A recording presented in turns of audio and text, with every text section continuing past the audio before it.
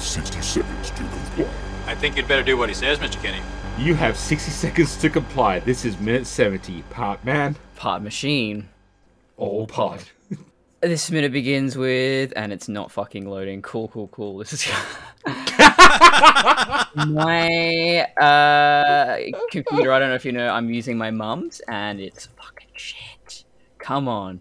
This is why I have paper notes. They don't take as fast to, well, don't take as slow to download. Yes, come on. Oh my god. Yeah. Are you kidding? Yeah. Once again, I gotta. Still I have to send you guys the picture of my notes. They're they're they're nuts. It sounds like the way Alan Moore writes a script for uh, essentially, it- for any of his it's- comics. it's- Apparently, it's just it's not too dissimilar from the actual look of his comics. Actually, Well, he is a wizard, so I'm sure he's like writing it, it, do, it backwards does in feel it does feel and- like in hell. Yeah. Consider- okay, here we fucking go. Now I can see it. Oh, There we I'm go. keeping all this in now. This minute begins with Robocop being tossed through a wall and ends with Ed 209 having a temper tantrum. And we have a guest. And we are joined today by Josh, my mate, who uh, hasn't got a podcast of his own, but definitely an uber nerd, very knowledgeable, mostly about B grade movies, martial arts ones in particular. where He recently introduced me to Ninja 3, it was pretty great. But Oh, hello, yes. Josh. Hello there. Yeah, welcome to the pod. Oh, thank you for having me. This is this is my uh, first, I, sh- I should say. Oh, wow. We got a newbie. Yeah. Yeah. Hopefully Podcast virgin, yeah. Yeah, yeah. I didn't want to go that far, but I was desperately holding it back. I, I guess given one of the pictures of your t-shirts uh, you've sent to our group chat, you wanted this minute. Oh yes, Yeah. yeah. I, Oh, yeah. I bought this shirt even though I knew no one was going to see it. I am wearing it right now. nice. Excellent.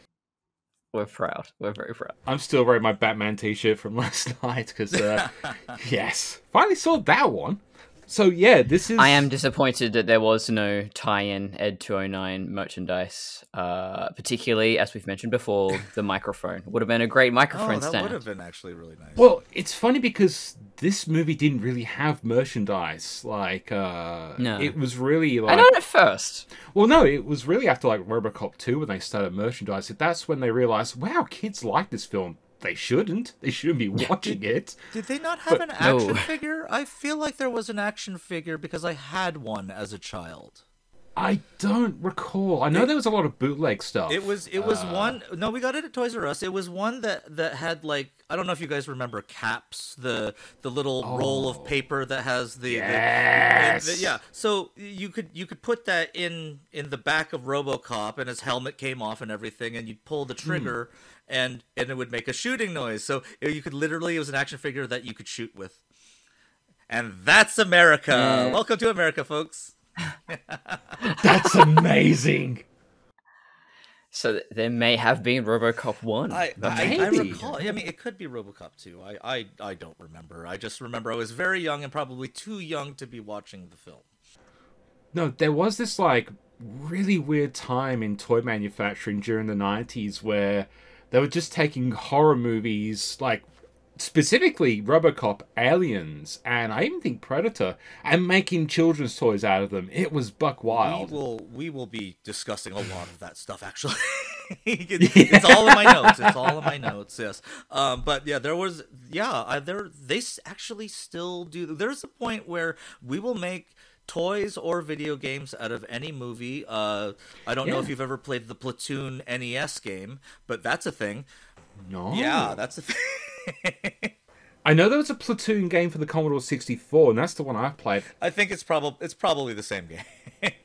Probably. It was probably better than the uh, Commodore 64 one because that was uh, uh, unnavigable. It was just I don't know what the hell they I were think doing. I think But So, Josh, what was your history with RoboCop? Keeping it focused, yeah. Oh yeah, sorry. My history with RoboCop is actually uh, I watched it when I was let's see, that's 1987. Probably didn't come out uh, to home movies for another year, so I would have been like eight or nine, probably.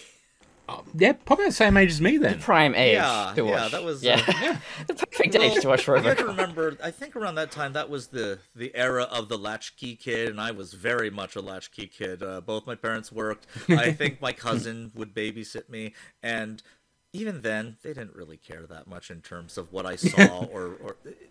It's like the more the more restrictions you put on it, the more I'd want to watch it anyway. So it's just uh, they just didn't bother, and I turned out okay. For No, the most it's- It's got a robot man on the front cover. How how, how bad could this be? Look, I don't even want to get into the to how old I was when we were watching. How old my sister was when we watched Pulp Fiction. Oh God. I, I I guess um, Pulp Fiction is very adult in its own way. It's not quite as hyper gore, but there is some very disturbing imagery in that movie. Yeah, she was very much. Well, at least she was in the double digits when she saw it. I'm pretty sure. I think. uh, don't remember. I actually didn't see that movie in cinemas until I was like about five or six years ago because it finally had a big cinema review. I was like, I've got to watch this Oh, in the cinema. I I don't think I watched any of the RoboCop movies in the cinema, and that's kind of a regret I have. I think I would at least. Yeah, I would. Oh, I'd love to do that. I've seen three in the cinema, and If they rescreen it, we got to get our OCP Yes. police uniforms done for that. Definitely. Yeah, um, there is like uh, in Perth, there is like some retro cinema releases, and I've been keeping an eye out to see if there's been a RoboCop uh, one. We have that. We have that too. I actually just took my my children uh, to watch Transformers the movie Oh shit, what are we gonna do now? in the the theaters. Yes. Oh wow! Yeah. Oh, That would be wa- great on the big screen. That is a great Yeah. freaking movie. you know what? And it's the first time I've seen that movie in the theater since um, all that traumatizing uh, crying uh, and uh, you know all the children running out. Uh, why did Optimus Prime turn gray, guys? Why? What's going on? Oh, I. I mean, I, I, I still don't get how I turned grey, but yeah, that was legit. Like, what the fuck? Yeah, yeah. On Cybertron, pigments come from uh, energon. So if your energon's not circulating, there's- Exactly. there's no color in anything. Oh, that would actually probably make a lot of sense than you just Oh, turned yeah, black. yeah. Yeah. Isn't there like an evil Nemesis frame? I think it is. yeah. So yeah, now now we've gotten back. We're here we go. I mean, they Welcome to Transformers by a minute. Uh, they literally just went, let's just paint Optimus Prime, Prime white, stick shit on him, Thank and new character. you, I had that action Yeah. figure, and by the way, immediately you lose all the pieces. The gloves, the, The glo- head, the, the- head was the the, only thing I had left. and, and after that, I was like, I just want the white Optimus Prime. It looks cool. He does actually. Um, It's it's Optimus Prime in heaven. There you go. Optimus the There white. Optimus the grey, Optimus the black. Oh, we're gonna be in so many tangents because I was gonna say when they painted Optimus gold in the cartoon to negate the Oh, fear virus bullshit when they re- when returned, like, oh, g- okay, okay, RoboCop. RoboCop. Anyway, so RoboCop. Uh, well, actually, Ed, I want to talk about Ed two hundred nine because I just I love the way he's he's kind of gingerly putting his foot onto Yeah. the stairs, going, "What? What is this? I don't." So we got this whole fight going on with RoboCop and Ed 209, and it's it's I like that it's kind of clunky. It's clunky. It's comedic. Yeah. but it's intense It's- too. I love. We've talked about this a lot. That RoboCop has this amazing ability to juggle multiple tones at once. Mm. Agreed. Yeah, yeah. Yes. Uh, going back to how you're thinking uh, with with the movie. So, what was your initial thoughts like, uh, especially coming up to a scene like this, where it's like, as a kid, did you kind of get some of the nuance, or were you just like, "On cool robot fight"? Um, probably at eight or nine. No, I did. I did. I actually ha- I I get very upset at movies as a child. So seeing RoboCop uh getting the shit kicked out of him was uh Yeah. was devastating to Oh, me. yeah. Especially this is the I think this is the first time we really show. I mean, he's had moments where he's memor- remembering his past, but this is the first time we actually see him not at an advantage at all um and look also genuinely Yes. scared um more more of those emotions coming out and, and and to see a stoic figure like that like look scared terrified me as a kid Yes. Hmm. we've got like two three minutes worth of RoboCop's basically fall from Ascension. Yeah, so and, like, and, and actually, damn. what it did too is it made Ed 209 that much more badass. Even though, if you really think about it, he doesn't really do too much in the scene. He kind of just he he shoots a couple of rockets and then he falls down the stairs. But man, how amazing is that? It's okay. Daleks have long been defeated by hey, stairs. hey, as they're well. they have retconned the crap out of that. Uh, oh Oh, yeah, we can- it's like, ha ha, Yeah. bitch, I can Exactly. float. Well, it's funny because it was actually 1987 when, during the Sylvester McCoy era, when they actually did the whole floating Dalek uh, That stuff. is, that is correct. I do. I actually uh, in my in my notes of of famous movie monsters that can't handle stairs. Yes, that is that is there, and yes, I do have Hmm. notes for that. I think it was Remembrance of the Daleks. I bel Yes, yes. Mechanically, it would have been really difficult, but I love those sort of treads that can climb upstairs, the adaptable. I don't know what they are. yeah, it is called or- actually not. Oh. It's that not that uncommon No to idea. have like the villain like not being able to go upstairs or or actually because I know specifically in like a lot of Hong Kong movies in certain especially in, with like ghosts or the Chinese vampire. Chinese vampires don't Hopping walk, vampires, they yeah. Hop. So if Oh, they have, if, there are there are moments Hop. where if there's a very large step, they will not be able to get up it, and and also ghost glide. Well, it's a it's a great thing for horror because it's uh it adds tension, like the whole idea of Yeah. will they, won't they get them? You know, it's uh it's a and it works well in this as well. Yeah, I think you could kind of draw a comparison between Ed 209 and a lot of traditional monsters in folklore that they have one really obvious weakness.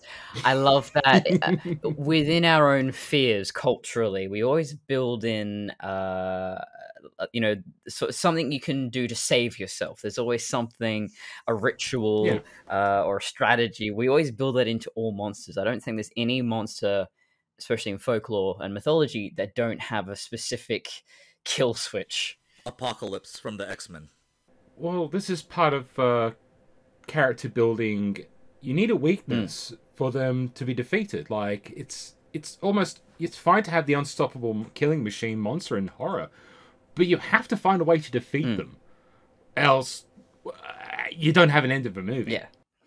Yeah, I guess even when we talk about folklore, then yeah, eh, we it, we're still telling a story with a beginning, middle, and end sort of thing. So it's like, okay, well, hopping vampire, well, uh, stairs, you know, it's just built into or regular vampires, uh, you know, just you have to invite them inside, or you know, over the years we just added more and more and more things to the vampire. The inviting inside is is is an interesting one because I'm like, like, okay, then just stay in your house and don't get out. Okay, cool. I'll just, I'll, I guess I'll just Uber everything and just, Yeah. yeah. I'm like, oh man, Oh, I'm vampire proof, I have so much baby. I'm garlic in my vampire proof. You're not coming in here. The one exception is actually werewolves. For the longest time, well, werewolves were sort of a, a deviation of vampire. They weren't really strictly Yeah. separate. So that means that for the longest time, when we once, well, once we separated the werewolf from the vampire, the werewolf didn't really have specific weaknesses until the Lon Chaney Oh. Wolfman. When they were writing that script, they're like, "Okay, so what do you use to defeat a vampire, um, the werewolf?" And they went, um, nothing there's really nothing specific in the folklore it, t- it doesn't tell you how to deal with it other than if it's a skin changer you take the fur away so they can't turn into the animal again but this the wolfman doesn't work like that so then they had So wait, a, a sh- a good shave will will stop.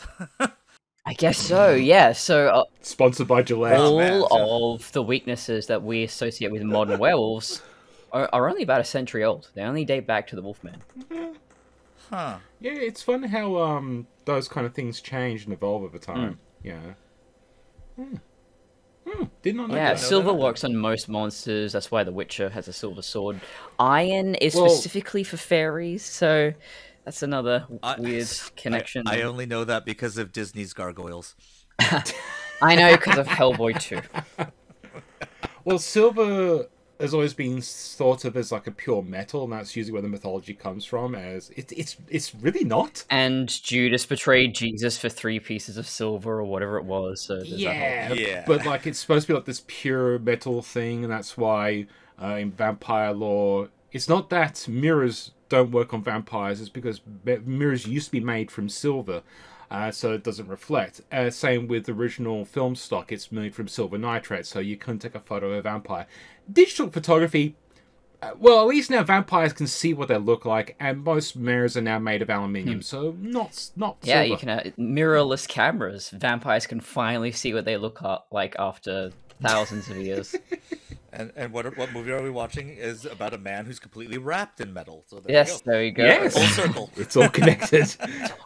Yeah, so I guess he is invulnerable to uh, vampires and fairies. It's good to know. oh wow, that's that's amazing. Yeah. Now I just want to see that movie. Oh god.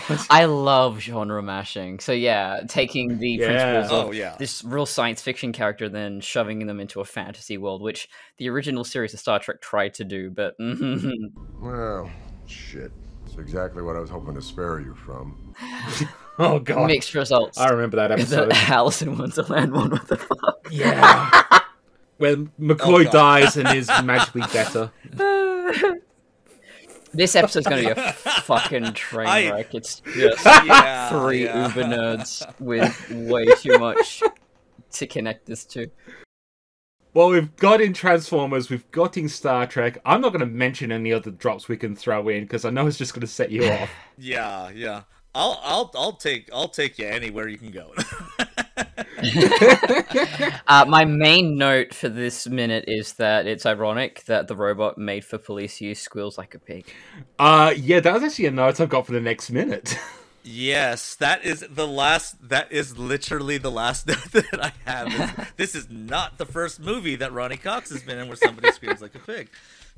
uh, they actually they actually bring that up in the commentary notes. Uh, is that that is actually a pig sound uh, that was sourced deliberately. I'm not sure it was deliberately for pigs, but uh, for thing, but it's a squeal. Although to quickly go into the commentary notes, it's funny because uh, they do mention that uh, the reaction is supposed to be basically a, cra- a crazy, angry child who doesn't get it. yeah, yeah, it- it looks like a tantrum. Yeah. So that brings me to my question that I wrote. Does Ed 209 have feelings? There was some there was some apprehension. Well, we've, we've been thinking about this lately, yeah. Yeah. There was some apprehension on him. He almost looked scared to walk down the stairs. Uh, usually usually that doesn't happen when you talk, when we're talking about robots. Yeah. Um, also robots tend not to scream and kick their legs around and and throw a tantrum when they fall, but you know, that's neither here nor there. I wonder if Dick Jones deliberately made that as part of his uh, his programming. What if uh, he actually has a pig brain in there? So instead of a, a human in RoboCop, we've got uh, we've got the pig. Ooh, that there you go. I did posit it was a dog brain, but a pig brain could That's be. why it's making that sound. Um, the Yeah. the animal noises for robots or machines. I don't know where that Hmm. starts. I mean, from the top of my head, I'd probably say Star Wars because you got, Mm. you know, I think it's the AT-ATs and the Chicken Walkers and the even I Well, think uh, Mm. oh the X-wings maybe. The- TIE fighters, Uh, TIE fighters, yeah. That's an elephant sound, and they also use that as Airwolf. Uh, that's that kind of pitch down, screechy. I did. I did notice. I actually did notice that from Airwolf because as a child, that was a very specific noise that I thought sounded like a person throwing up very, very loudly, like like just very with a lot of force, just just like that. that kind of, Well, you've ruined Airwolf for me. Thank you. it's Jan Michael Vincent throwing up after a hangover, and that's uh, you know, just just have a nice, nice, nice bender. Uh, I'm going to give you props because the only pers- person I could remember in Airwolf was Ernest Borgnine. Well, I have been watching it lately, and uh, check out the Airwolfiers podcast uh, with my mates plug. Dave and Gregory Klein. So yeah, yeah, yeah. I've been on the show before. Uh, once I was in disguise as Archangel. So I remember that picture, those pictures actually. God. Yeah. Um, so another note I've got here is uh, because I think this is one of those weird things going back to a movie like this is that because it, a lot of this stuff was done practical, we don't think of like, oh yeah, those were real rockets. I mean, they obviously weren't have explosions on, but yeah, they were like properly guided rockets on a guide wire. That's the only way you could achieve a shot like that is uh, with the models and that. I love So that look. I It's think a lot. There's actually, yeah, it, it looks it looks so much better.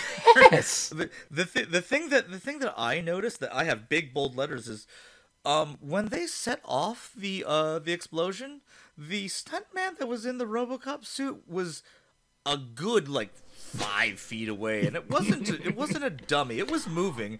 Uh, and they did it twice. I'm like. I Yeah. don't think that they would allow them to do that anymore. Oh yeah, I, I reckon these stunt guys must have been paid extra danger money considering some of the shit they were getting away with in these particular minutes. It takes a particular kind of mindset to be a stuntman, I think. Yeah. Yeah, this is this feels this feels like the throwback to like the yeah the seventies. This where the stuntmen were just like like the man, you know. Yeah. Yeah, it's like, oh, you want me to jump over that? Oh, it's on fire. Oh yeah, fucking whatever. Yeah. yeah, sure, that's fine. That's uh, Well, there's a scene earlier on in the movie with the gas station explosion, and there's a guy, there's a camera operator, like literally in a um, fireproof blanket, like right next to that uh, explosion, getting footage. So even the cameraman were not immune. the mean the meantime, Paul Verhoeven's just on on on the on the loudspeaker. Get closer, closer. To to be fair, I think that was mostly second unit, so he was probably off being weird and Dutch somewhere else. Oh goodness, the whole practical uh, elements of this film is just like.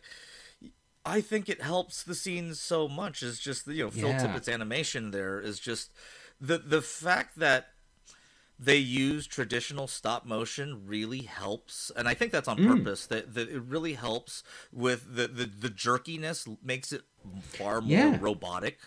Um, like because they could have. Oh, actually, no, they couldn't because they couldn't afford it. They could have used the, the, the go motion, which is what Phil Tippett was supposed to do for Jurassic I was Park. wondering if it was go motion because it's got a bit of a blur to it.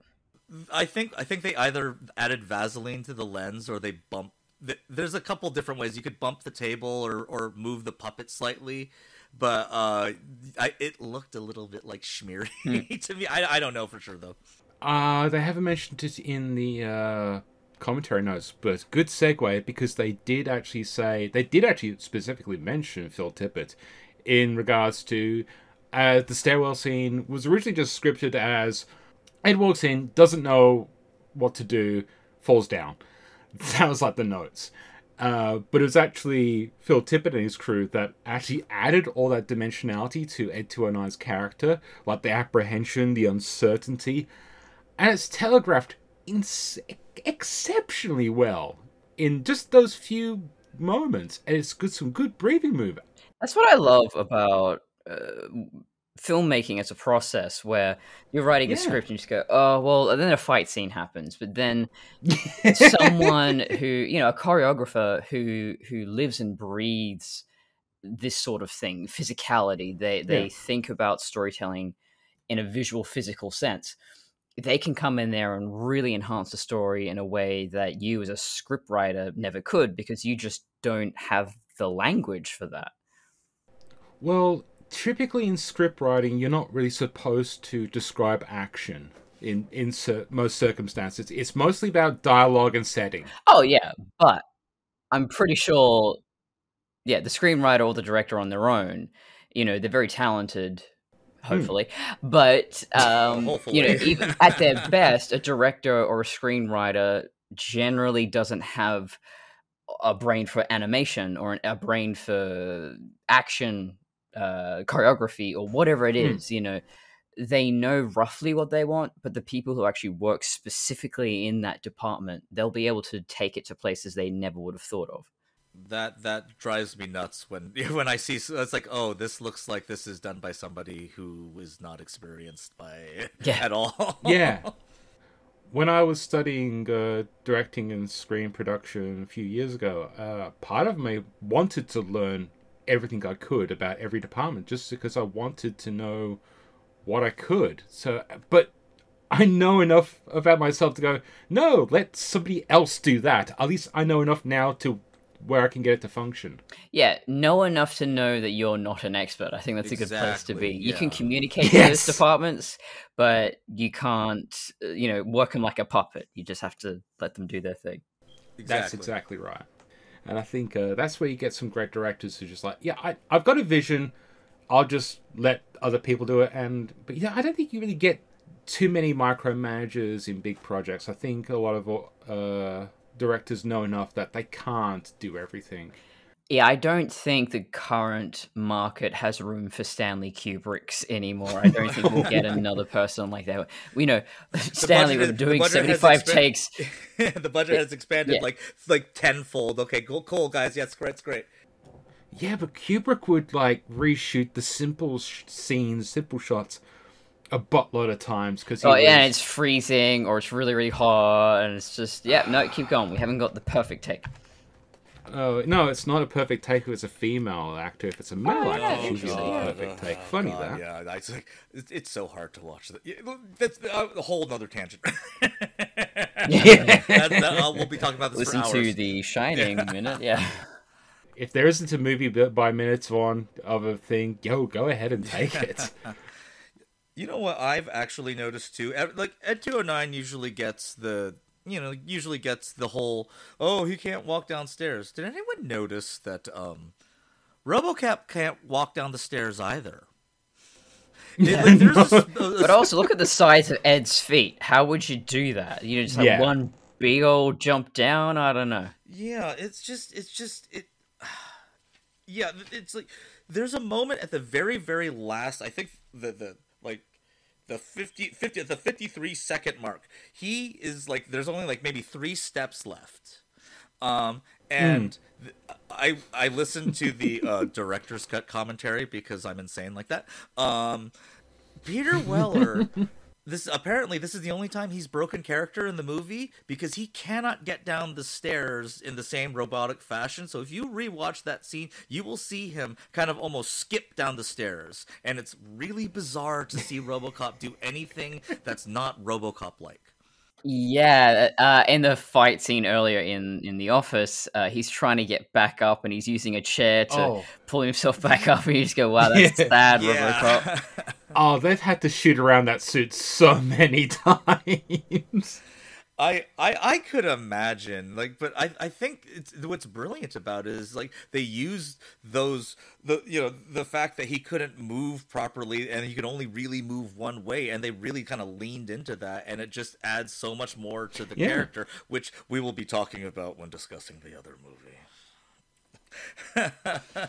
Yeah, I, uh. I think the limitations of that costume are actually a wonderful thing because I think it should feel uncomfortable and awkward. This is the first cyborg of his kind, and Mm.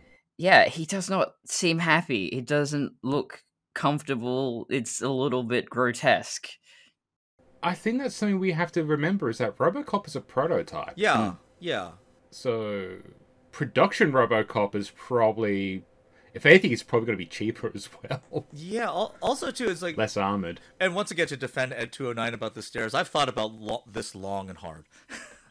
um, I'm sure since, you have. since I was eight years old. Um, Ed 209 falling down the stairs, they just, uh, you could easily just kind of create the can in your head. Well, he's defective. That's why he's not roaming the Yeah. streets. You know, it's is of course he's like this is a big problem because these are this is something that was made by suits and they don't really think about things like that. That he would have to negotiate stairs. Yeah, that feels like actually perfect executive decision making. Hmm. Well, we were speculating uh, a minute or two ago was Ed 209 actually fixed after the uh, boardroom incident? Because Dick Jones never said, like, new and improved or, you know, the glitches have been fixed or anything like that. It was just a minor setback. But I, I don't. Dick Jones feels like the kind of guy who just won't fix shit. Yeah, I don't. I don't think. I don't think that Yeah. that is fixed at all. In fact, no. Uh, No. we'll, we'll we'll talk about this when you ever get if you ever get to the sequel. But they actually did point out that the Ed 209s were still malfunctioning. There's an there's an actual Yes. scene of it. He just turned it off and on again. Yeah. Have you unplugged it? Are you sure it's plugged in? See, that's the reason why I tripped down the stairs. He, he ran out of cord. Ah, You have to get the, the you have to get the new. oh, I'd new- love to see an Ed 29 on a gigantic power cord because they couldn't figure out how to to do an download internal power supply. update and I've seen Iron Man suits like that in real life. Oh. Oh, one quick note is uh, Dick actually uh, on the phone calls for Lieutenant Hedgecock, who is the same character from the mayor Oh, the uh, hostage taker. scene where like Yeah. the guy's taking the mayor hostage. The hostage, yeah. Yes, we got to assume that you know unless he's parked right outside. I mean, it could be this is Dick Jones preparing. Um, that SWAT team gets there pretty quickly, but I'm also imagining like it takes a while for RoboCop to get down the stairs. Like, Yeah, he's, he, he, Yeah. he, it would t- that whole fight scene was actually 30 minutes, you know. we, we just we just, it was a time cut, guys. time cut. no, it's uh halfway through that scene. No, they meet the Ghostbusters going up to the 42nd floor. It's yeah, what, what if that was just the last set of stairs that we saw and he's and Ed 209 has been falling down like 30 flights of stairs. This is this is he and RoboCop has slowly been kind of just meandering down the stairs uh for like Oh. it's just, it's like Hedge Hedgecock here. Where are they? They're on their way. Ed 209 somehow managed to write himself up finally, like twi- tips himself over, gets the next set of stairs, falls down that one. By the by the end, Ed 209 is just sighing angrily at himself. He, it's, it's, it's the it's the Simpsons uh, rake scene now. It's just too. You know what? If I was directing this scene, it- you know, like in an Al RoboCop remake kind of thing, That's Um, exactly what I was thinking of. That needed that. I would I Me would just too. do just a really long drawn out scene of two robots continually tumbling downstairs. Just, they cannot stop tumbling. Or like Ed 209, he's like clutching the rail, like taking one dainty step down, shuffling over, taking another daintily step down, shuffling over. I think that'd be a fun little stop motion project. All you need is a step, some Oh, stairs. yes, as would be it's a really small set. You just repeat it over and over again. You got a little RoboCop action figure and an Ed two and I. Just yeah, fling him down to the stairs, film it, easy. that's actually not too. That's not too. That's actually what they did. So they, they did. They, I was just they did say, stop just do Robot that for ten minutes shit. straight. They Yeah. did stop motion for the foot part, and then when he fell, they just threw a little model down the stairs. Oh, that'd be amazing. Okay, now I just want to see the behind the oh, scenes of that. Actually, I'll just rewatch it over and over again. yeah. Yeah. Oh, I, I'll just admit, I haven't done much behind the scenes looking in a while, so I, have not seen any stuff about the special effects as much. It's, most of the behind the scenes has always been focused on the character and the drama, like you know. Oh my god, The there's a reaction figure of Ed 209 and Mr. Kinney Oh. all, all Oh, shot up and shit. Now, if you got 70 dollary dues, which is the Australian currency, uh, you can get that one from pop culture, apparently. Oh wow! Look at that. I must admit, I wouldn't mind getting some of those reaction figures, but uh, I've got the um, uh, Metropolis, uh, the Maria robot. Oh, figure. wow, It's pretty great. I oh no, I I'm actually I myself am just saving up for the for the Hot Toys version. And myself, the the very very expensive Hot Toys version. If I'm gonna get anything, I'm gonna get that. a Hot Toys Ed 209 to scale with a Right. Hot Toys Robocop would be. Uh, oh Yeah. God. So this is just the this is the moment in the podcast where we just start like thinking about RoboCop stuff that we want and just like oh. Salivating over toys, yeah. Oh, I was going to say, I think this is the point of the podcast where I'm desperately trying to say anything else apart from going into the next section. No, yes, right. Uh, well, I actually do have a little. Oh yeah. I actually do have a little tiny bit more on Hedgecock, um, but like no, uh, it, like yeah, I actually did put in giant thing. Is Hedgecock on the take? He very specifically calls for Hedgecock. Yes. But um, like Hmm. the, I I don't I don't know. I don't because there. We'll talk. I guess we could talk about it later. But um, yeah, it's it's.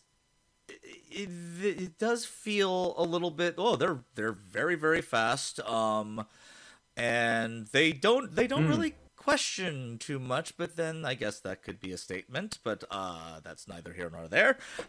um, Well, we already know that the cops have essentially been bought out by Yeah. OCP, and for lack of a better term, the real cops are not happy about this. Like the cop. Well, okay, we'll get into definitely Yes, into that in the next minute because that's very more pertinent to that. So it's something Mm-hmm. to definitely think about. You know, in twenty minutes when we finally talk about it in the next minute. uh, unfortunately, we have to bear witness to Gaslighting Robocop. Alex, how do you feel?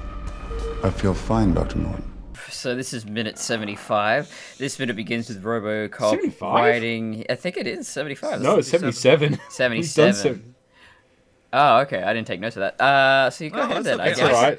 It- the- this is the this is the minutes where RoboCop magically undoes his fucking programming for reasons somehow. okay. Okay. Okay. Fuck. Uh, Okay. Here we go. Sorry. Um. To, to, I'll, I'll quote. I'll quote it. He's undoing what we did to him. Unquote. Yeah. Okay. All right. Ah! Okay. Here we go. Here we go. Fuck. just All right, here we go. Let me let me just go ahead and do woosah woosah. Okay. So my first note is problem one occurs at zero seconds. Um, this, okay, this is uh, this happens. This is okay. This is the big emotional moment of the original film. Let's. I try not to compare remakes to the original mm-hmm. film too much, but this is the big moment where RoboCop really gets his his emotions back, and it's a real emotional like like peak of the, of this whole of the whole movie. This occurs 77 minutes into the film. yes. And they also already gave him emotions. Why would you give him emotions to start with, only to take it away, only to give it back to him? I know. It's, it's, it, it, it, it doesn't like lo- even on a just basic writing sense of a character arc. Why would you do that? Ah, that's why I've been wrestling with this fucking remake. Why did they think this was a smart idea? Like it just almost feels like they padded it out because movies nowadays are two hours long, and Yes. it's like This is 30 minutes longer than the original and tells less of a story.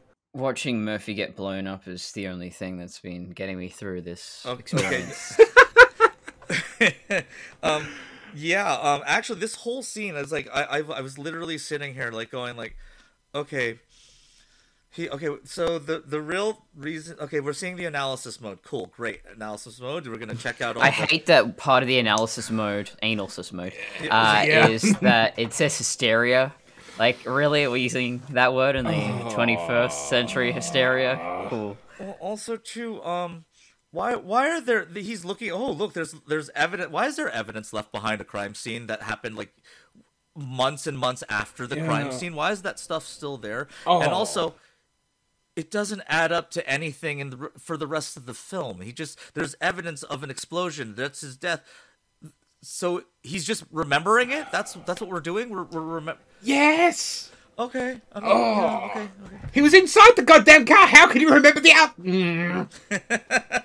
It, it's just a really clunky way of it. You know, the scene where the real RoboCop goes back to his house and he's walking through, and he's he's not remembering the accident specifically. He's just No. reminiscing about his whole life, and Yeah. that's far more effective and giving us new information. yes Yeah. It's making us connect with Murphy, giving the char- giving the audience something to grasp onto when we finally get to this fall that we get to at the moment. It's it's all good building, not whatever the fuck is going on with this remake. Yeah, I think really what I what at least for this minute, what I, my main takeaway was it okay, we got the analysis mode, so there's a lot. Okay, so this is we're playing. We've played a lot of Arkham City, um, or whichever. Yeah, It's, uh, it's- That's what I had this is like this is notes. this is this is this is Metroid Prime. We're okay. We're just analyzing stuff now.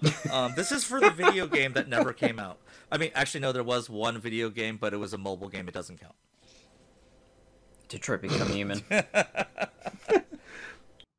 Is this Detroit Become Human? This is, you know what? If uh, fucking uh, David Cage directed this, it it might have made actually more sense. Maybe. I don't, I don't, I don't know. At least it would explain why Robo Flag has emotions. Yeah, and also he uses four cameras to recreate a 360 realistic recreation that he doesn't remember apparently. But um, but okay, but then, but, but like okay, you know how much processing power it takes just to render something like that? Is he just standing there like still as as as it's buffering in his head, or is he just or like he's just like really loading, loudly. He's got a fan in Oh, I'm sorry. This is the His visor's got a circle that's spinning. Sorry, that's right. This RoboCop doesn't sound like a robot. Loading, loading. Uh, like, it's, it's, it's, I'm sorry, I can't get past the accent. I just can't. Like I like it. I like Joel Kinnaman as an actor. that's right. I can't get past the accent. Generic white man accent. Yeah. Robo oh, Bread. Oh, Jesus. But this is just, just this is just. It, it, yeah, when you hear it, you should you should actually see the white bread, just that that shitty mass-produced stuff, not like nice bakery stuff. No. But it is, it is good at the end of the scene that the, the toast does pop out of his skull. Yes. But also too, I even the Fuck even the movie. sound effects. I mean, okay, we do the RoboCop, the, the infamous ro- Yeah. but when you don't act like the suit is heavy, it's really distracting. Yeah. because all I hear is the servos and the actuators moving. Like just he turns his neck and it makes the loudest noise I've ever heard, and and I'm like, at least act like the head is heavy, and then we wouldn't, and then then I would be like, oh wow, you, it requires I movement. don't know why I'm thinking the you know the scene of RoboCop in a library or somewhere really quiet, and he's like trying to feel stealthy. I'm sorry, I it can't doesn't stop. also help that RoboCop doesn't speak, doesn't really tend to whisper unless it's unless there's a dramatic reason for it, because it's always just very, excuse me, so, pardon me, like it's uh, just very like that that that's my really terrible role. I can't. I can't do RoboCop's voice. I can sort of. I can. I can. No, you're doing a terrible job, which means you're doing I- the right thing. I, I could- don't know. What, Exactly. I can do some. I can do the the. the Thank you for your cooperation. Good night. You know that that kind of little simple Yeah. stuff. But I can do a hell of a RoboCop three. Oh, God. Oh, we'll get to that one day. We'll get My to friends call me my friends call me Murphy. you call me RoboCop. Um, I've been thinking more about the design aesthetics of both RoboCops, and there's a lot of automotive influence Oh, there. yeah, You yeah. know, makes sense because obviously, what other machinery are we surrounded by on our daily basis? But I think the modern RoboCop is a reflection of the modern automotive industry, where it's just Oh, really shapeless and and smooth and I call modern cars suppositories and I think the new RoboCop looks like a Hyundai. It's just, it gives just- me massive Yeah. Hyundai Oh. vibes. I, I actually you, you could argue you could argue that the first movie was that too because when you think about it it takes place in Detroit in the United States Detroit was the Mm. car you know kind of the, the where they used to make all the cars um and I, I think the feeling the yeah, feeling at the RoboCop, time, the original, gives me big Chevy vibes. Maybe maybe old Cadillac. Yeah. Yeah, the feeling at the time was, oh, the the Japanese are gonna come in with their Hondas, and sorry guys, uh, I, I'm Japanese. That so was the uh, time of was it Michael Keaton's Gung Ho? exactly yeah with Gedde Watanabe. Yeah, It took. that was a great film. It's probably aged terribly, but that was a great film. Uh, I rewatched it. It uh, it's not that bad actually. Yeah, they they do say a lot of racist things towards towards the Japanese, but that's kind of on purpose. Yeah. because they are supposed to be from that that Yeah. level of oh we hate these people, but then towards the end they come together and work as a team. Um, hence the name, the term gung ho, which Yeah. is what which is basically what that means. I love that part of the movie. no, I just had a cursed thought is that if we did do a RoboCop remake now, it'd be based on a fucking Elon Musk dancing robot, and fuck my life. oh, people think that was real. God damn it! Ah. It's like, yeah, it's a guy in a spandex suit with a robot head, like trying to be a ch- cheap, shitty knockoff Daft Punk. Yeah, that's real. Oh my god, people believe anything. Uh, anyway, um, fuck. I think we have to give or issue a formal apology to you, Josh, for having to endure that this fucking film. Oh no, it's okay. Um, you know, I I I am a masochist at heart. I I I watch I watch the worst movies. Um, see, here's the thing. this movie is to me is not necessarily bad per se on it. No, it's bad. No, let me take that back. It is bad. but It's a bad movie, but it's not entertainingly bad. It's more mediocre. Yes, it's boring. Like, okay, I, the perfect example for me is the Street Fighter movies. Street Fighter with Jean Claude Van Damme is a terrible movie, but it's so Yeah. terrible that I can find entertainment in it. Legend of Chun Li is just a boring movie. Yeah. I can't. I like. There's nothing to gravitate other than uh, M. M. Bison having a ch- Irish accent. But other than that, nothing. but this Robo, this RoboCop is the same thing. It's like, okay, I'm just watching several amalgamations of this is Iron Man. That's okay. That's Avengers. Now, okay, well, we're just we're just seeing similar scenes and but done poorly.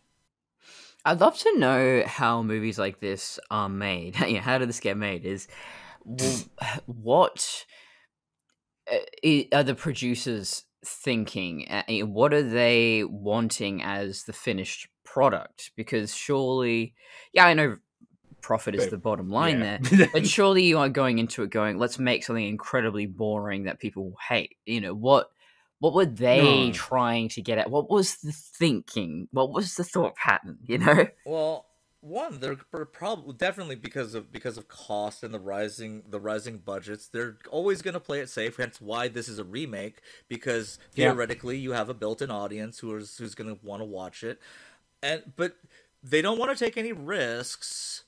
Uh, they see what works. Oh, that works in this movie. Let's put it here. Ooh, but we shouldn't go too far. We don't want to make the audience think too much because we don't want them to get bored. It's a lot of micro, you know, kind of little, kind of, you know, uh, micro directions of, of just like, okay, we're gonna we're gonna do this, but not this. Hence, also too, the ballooning. I always blame the budgets on movies of why we lack creativity in films because Yeah. if, if there no one's gonna stick their neck like gonna gonna waste like millions of dollars for you know a bad movie and like i don't think anyone sets out to make a bad movie it's just one of hmm. those situations where we keep change making more and more changes to the original product until the point it, to where you don't under don't even recognize what movie you just made this is why a lot of the indie scene tends to be have a lot more degree of uh, creativity or freedom, and to a certain degree, even they can do things like make uh, political statements. They can actually go a bit subversive and all that because you're never going to get that. You might get hints of that in the big franchises, but you're never go- and for a movie that is so built on satire, critique, and particularly on corporatism you're not going to get that in a remake made by a multi-billion dollar corporation. They just want butts on seats for the dumb robot film. And that's not what RoboCop is. And that's why I think it's very frustrating. Well, I think too it has to do with the perception of what RoboCop was. I, hmm. People still think of the original RoboCop as a dumb action movie, and when you tell them no, it's not, there's actually quite a bit of satire. Just it's just like oh that that scene is like I and what's I don't know if it's great or horrifying is how much we watch the the satire now and like oh but that's that happened and that's still happening and oh oh crap we are Yeah, we are still we're living- relevant, we're sadly. living, we're living in the RoboCop time period oh my god I pe- I think people see I'll I I'll buy that for a dollar and go, "Oh, that's the movie." It's like, no, that's part of the critique, man. Like, uh, shit. Our media landscape is very much like that. Maybe not quite as so overt, overtly sexist because, well, that was the 80s. But, like, no, our media is still as trashy as uh, that show. Yeah, I think a modern RoboCop would have been, you know, properly done. Could have been something amazing. Um, Also, I, I've been thinking about Max Headroom a lot lately, and thinking, oh man, imagine this. So Max Headroom. That keeps popping up. uh, uh, oh, so people are thinking of, of redoing it. No, no, just like I'm hearing that a lot in like critiques. Like even the latest Maggie Mae Fish uh, mentions uh, Max Oh, Headroom, yeah, and I know. Uh, He's in the zeitgeist right now. Maybe it's his time to come Oh, yeah. back. But yeah, I'm thinking. Imagine if Max Headroom was just he lived on you know Instagram stories or YouTube Shorts, and there's Oh, no that would be TV show or anything. But he just pervades social media. Max Headroom is just everywhere, critiquing social media and being a part of it. And I think that'd be brilliant. And oh yeah, by extension. So yeah, RoboCop. Yes, it must be a film. It is trapped in this medium where Max can be whatever he needs to be at the time. But hmm. I still think there's a lot of great satire to be told through the cinematic medium about the current world. I, I don't see why there was this complete lack of that. You know, even if it was making really cheap, obvious shots, they don't really criticize the system the same way that Disney movies are kind of anti-capitalist, but lol jokes, not really. Yeah. yeah. I'm amazed they didn't even go there. I, I- I'm trying to put my, myself in the mindset of what that RoboCop came out in 2014. Uh, this Yeah. that I I think the the big issue was I think because was this is in the height of drone warfare, right? That's why we're talking about the Yep. machines mm. and everything and the the the. But we need people to run those machines because if we just let the machines take, but the thing is, we kind of stopped caring about drones entirely. Not only do we stop caring about them, but now it's like, Yeah. wow, we can have drones do all sorts of stuff. Did you see that Lady Gaga thing at the Super Bowl where they had all the drones flying in the air? It's like, did we stop caring about all that? No. stuff now? Oh, oh, we, oh, they're giving it away as, as for video games now. Okay, cool. Yeah, in Perth recently, they had this uh, little exhibition performance thing on the uh, on the foreshore where they had all these drones, these coordinated light up symbols in the sky, and it's just drones became such a average part of our everyday lives whereas back in the sort of around yeah 2014 2015 i mean i talked about this before uh, muse had an album all about drones uh robocop was all about drones like oh buddy you backed the wrong horse no one gives a shit Do you know what the perfect movie that discussed drone warfare was? Toys by Yes. Robin Williams. Oh my god. Oh my That god. literally is about drone It warfare. literally is about that. Although you know what's funny, your description of Max Headroom, it, it sounds it's fascinating, but it's also dangerous because it's not too far off from the sequel to of uh, Lawnmower Man, starring Matt, Matt Frewer. Frewer. yes. No, um, Max Headroom was a was Oh, a yeah, capitalistic absolutely. critique. It was all it was all subversive and stuff like that, and of course, biting the hand that feeds yeah, but of course, like any kind of subversive punk type of thing, especially during the eighties. It got basically turned into a marketing ploy as well. So as Max, You mean when he started selling Dr. Dr. Pepper? Or was it Coke? yeah it's Was it Coke? promoting coke it's like do you know oh, Just watch Back to the Future Part 2. You'll see Yeah. what it became. yes, pretty much. Oh, I, I wish there was a cafe eighties. I, I am Mm-hmm. shocked that there isn't. Oh, I remember when they released finally released those weird Back to the Future 2 Pepsi bottles and they went like crazy Oh, fast. yeah, that's right. okay no there is a cafe 80s i just looked it up someone has thank god Even in the afternoon noon, noon, noon? You must try the special!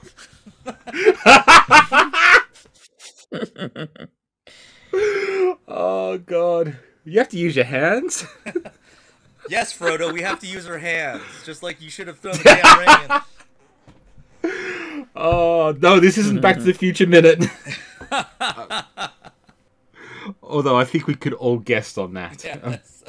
I think it's probably about time to uh, mosey on into the next minute. Sure. So, uh, Josh, do you have anything to plug, or do you want anyone to know your existence outside of this tiny little sphere?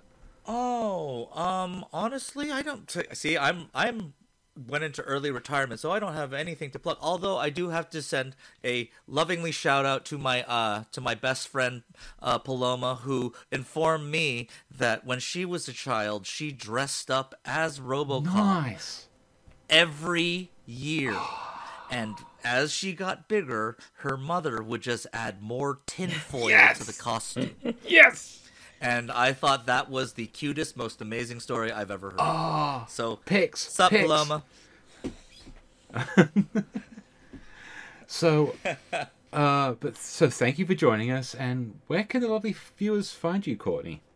You can find me at traviandesigns.com and patreon.com slash traviandesigns. Uh, Courtney Colson on YouTube. Uh, not a lot happening lately because, you know, uh, my life's just Life. been ruined. Lol. Uh, yeah, uh, FML. Uh, all that shit. RSVP. RSVP. yeah. Uh, so I, I think I did mention on the previous episode. Yeah, I, my my house was burgled. I still haven't got my stuff back. Everyone's fucking dragging their heels. The police, the insurance company, but hopefully my car will be, be back soon. Um. Fingers crossed. Yeah. Uh. But Yeah. yeah, still still uh, getting some podcasts out there. So Okay. Uh, uh, on that uh, cheery note, yeah. uh, you can you can find me at Helios Photos and Fandom Crossing on Facebook. We have Simplecast, Spotify, Google, Apple's, uh, YouTube, just wherever you podcast podcasts, podcast are from there. I How many podcasts Uh, could a podcast cast if a podcast could cast pod? It, uh, it, it, uh, I'm just having the Robo Flag face now, trying to compute that. I have a son. What are you talking about? oh, fuck fucking yeah! Like, share, subscribe, all that shit. Get on with it. Uh, and uh, Josh, do you want to do the honors? Do you know? I don't. Have you listened all the way to the end of our episodes? I, I presume no one does, but I, I, I have. I'm usually passed out by Okay. because I, I, I, I listen. I can't listen to anything longer than than 60 minutes because I don't sleep anymore. So there's that. yeah.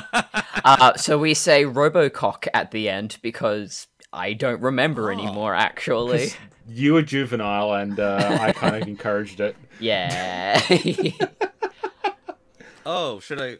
Oh, maybe I should do something special with it. Hmm, You what should. I should. do? You can add a variant. It's fine. Oh, how about uh I'll do my um Oh, I know. How about this? Well, I gotta hand it to you. What'd they say your name was? Murphy, was it? My friends call me Murphy. You call me Robocut.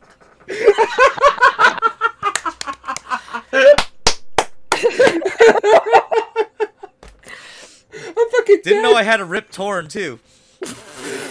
Oh fuck! I'm saving that for the next uh, year when we do